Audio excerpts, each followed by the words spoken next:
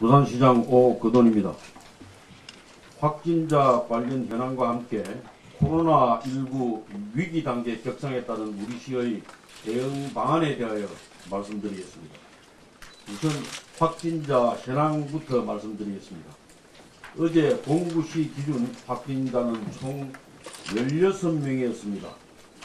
그 이후 현재까지 동래구 7명, 사하구 3명, 서구 2명, 강서구 2명, 해운대구 2명, 수영구 2명, 금정구 2명, 남구와 연제구 각 1명 등 총 22명의 확진자가 추가로 발생하여 현재 확진자는 총 38명입니다.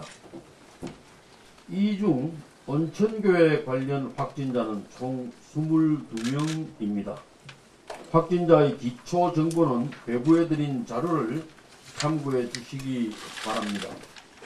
특히 12번 확진자가 근무한 아시아드 요양병원은 오늘 12시부로 환자 193명과 의료진 100여 명이 함께 코호트 격리, 즉 전면 봉쇄에 들어갔습니다.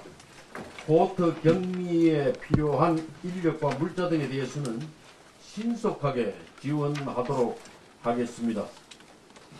아울러 어제 추가 발생한 확진자 11명에 대한 동선을 오늘 오전 시 공식 SNS와 홈페이지에 공개하였습니다. 일곱 번 어, 확진자의 어, 이동 경로는 어, 당사자의 진술이 일관되지 않아 아직 확인 중에 있습니다. 7번 확진자의 이동 경로에 대한 얘기입니다. 자세한 내용은 배포해드린 자료를 참고해 주시기 바랍니다. 어제 에, 문재인 정부는 코로나19 위기 대응 단계를 심각으로 격상하고 총리 주도의 중앙재난안전대책본부를 가동하였습니다. 심각 단계로의 격상은 크게 세 가지 방향 전환을 의미합니다.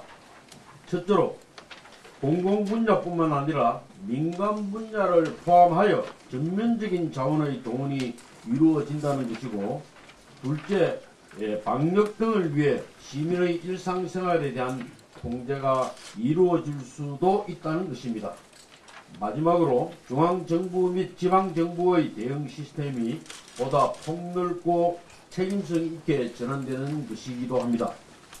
한마디로 지금까지는 이 외부 환자의 유입을 막고 검사와 역학조사 등 확산 방지를 위한 차단, 차단과 봉쇄의 봉쇄가 그 중심이었다면 이제부터는 부산시 전역을 감염 위험 지역으로 상정하고 환자 치료 등 피해 최소화 전략을 병행한다는 의미입니다.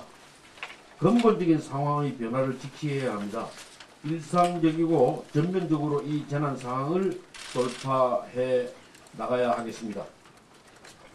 이러한 심각 단계 격상에 따른 우리 시의 대응 방안에 대하여 말씀드리겠습니다. 우선 관리 체계를 전면적으로 강화하겠습니다. 이미 선제적으로 구성 운영 중인 재난안전대책본부를 대폭 보강하여 24시간 비상대응 체계를 더욱 강화하겠습니다. 현재 10개 반에 40명으로 운영 중인 재난대책본부를 12개 반에 78명으로 확대하여 즉시 투입하겠습니다. 다음으로 현재의 의료방역 체계에 더해 민간의 인적 물적 자원을 총동원하겠습니다. 먼저 부산 의료원을 소개하여 감염병 전담병원으로 전환하고 보건소 업무를 24시간 감염병 대응 업무로 전환하겠습니다. 민간 병원을 포함해서 시 전체에 선별 진료소를 확대 설치하고 민간 의료기관이 보유한 병상, 의료인력, 환자 이송 수단 등을 적극적으로 동원하겠습니다. 오늘 16시 의료기관 관계자 회의를 통해 이와 같은 협조를 요청하고 긴밀한 협력 체계를 구축 운영해 나갈 것입니다. 각종 다중집합 시설을 잠정 폐쇄하고 대규모 행사 또한 취소 또는 연기하겠습니다. 어린이집, 도서관, 박물관, 복지관 등 공공 다중집합시설에 대해서는 휴원 등의 선제적 조치를 실시하고 각종 축제, 행사는 전면 취소 및 연기 조치를 하겠습니다. 이미 종교단체에서는 자발적으로 다중집합 집회나 예배 등을 취소해 주셨습니다. 시민들을 위한 결단에 감사드립니다. 오늘 오후 3시, 3시 15시에는 5대 종단 지도자와의 긴급 간담회를 통해서 이를 보다 확산할 수 있도록 협조를 구하겠습니다. 또한 3월 22일로 예정된 2020 세계 탁구 선수권 대회 또한 세계 탁구 연맹과 협의하여 연기를 검토하도록 하겠습니다. 감염병, 감염병의 피해는 사회적 약자에게 더욱 가혹합니다. 소상공인들은 물론 취약계층을 위한 특단의 경제적 지원 조치를 실시하겠습니다. 이미 비상경제대책본부를 중심으로 관광업계, 소상공인 등에 대한 비상경제대책을 시행하고 있으나 위기경보 격상에 따라 지역 경제가 더욱 위축될 것으로 예상됩니다.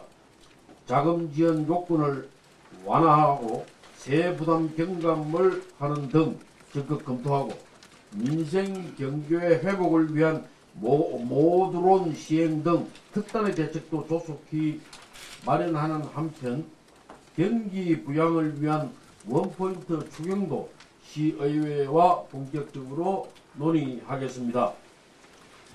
복지시설은 휴관하더라도 긴급 돌봄 서비스는 유지하겠으며 급식소 폐쇄 시 방문 지원을 확대해서 급식 이용자들의 생활에 지장이 없도록 최선을 다하겠습니다.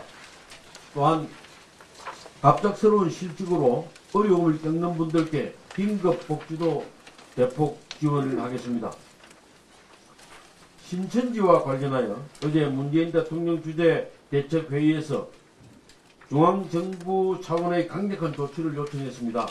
이미 우리 시는 신천지 시설에 대한 전수조사와 폐쇄 방역 조치를 진행하였지만 신도 전수조사를 위한 정보는 신천지 측의 비협조로 인해 확보하지 못한 상황입니다. 이는 우리 시뿐 아니라 전국의 지방정부가 공이 겪고 있는 어려움입니다. 이제는 중앙정부 차원에서 공권력을 활용해서라도 강력한 수단을 강구해야 할 것입니다. 시민 여러분, 다시 한번 강조합니다. 위기 상황일수록 기본에 충실해야 합니다. 모두가 스스로를 보호하기 위해 노력해야 합니다.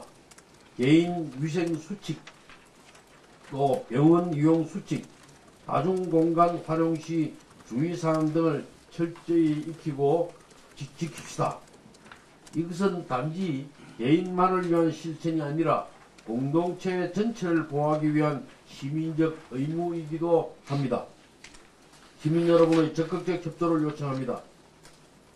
이러한 실천이 반복되어 우리 모두의 일상이 된다면 부산시가 코로나 사태 이전과 비할 수 없이 건강한 도시로 변모할 수 있는 기, 기회가 될 수 있다고 생각합니다. 마지막으로 지금 이 순간에도 이 전쟁의 최일선에서 사력을 다하고 있는 의료진과 공무원들 그리고 자원봉사자 여러분들께 시민 모두를 대신해서 감사드립니다. 여러분들이 이 시대의 진정한 영웅입니다. 모쪼록 시민의 안전과 함께 스스로의 건강도 챙기시기 바랍니다. 이번 주가 고비가 될 것입니다. 시민 여러분 모두와 함께 반드시 이겨내겠습니다.